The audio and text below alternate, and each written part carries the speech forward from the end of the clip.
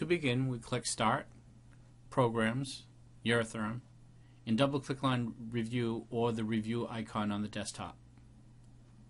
This opens up the review software, and we select No for activating review full features at this time.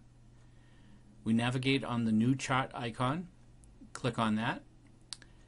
We say Add Point. At this point, the instrument and, and log group is already pre-selected for us. We're selecting channels 1 through 4 for our chart.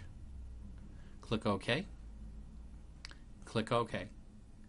Notice you'll see the information on the chart. We just maximize the chart.